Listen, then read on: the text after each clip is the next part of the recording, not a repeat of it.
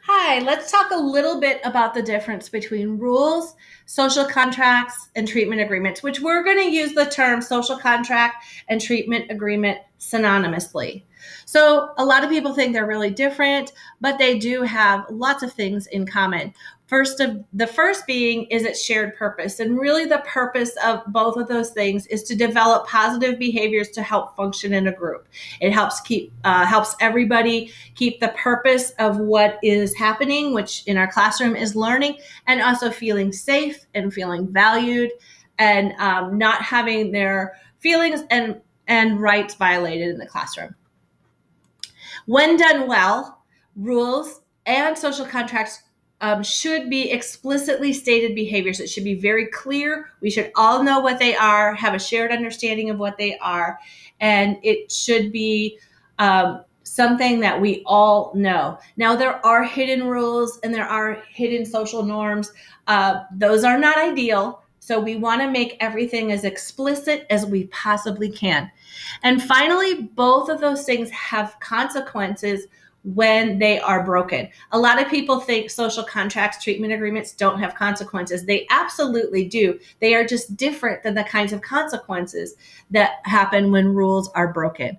So, um, let's look at again let's let's look at how they're different now so those consequences for rules are punishments a lot of people don't like the word punishment but it is actually a punishment when you break a rule something undesirable to you happens as a result of breaking that rule.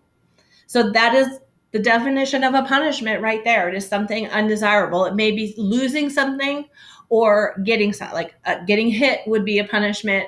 That would be getting something. Obviously, we're not hitting our students, um, or taking away something, taking away a privilege or something that we like is also a punishment. So it is a punishment type thing. Um, and because we want to avoid it happening in the first place, or if it happens, avoid it happening ever again, we will choose to theoretically choose to engage in the positive behaviors to avoid that undesirable situation. And then we will develop the habits of positive behaviors to help us us and help us get along in a group.